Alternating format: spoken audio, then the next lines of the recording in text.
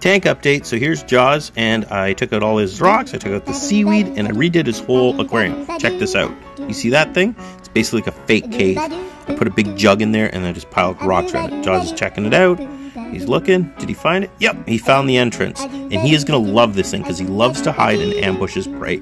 And I guarantee anything that goes into this jug now will not come out because Jaws will swallow them.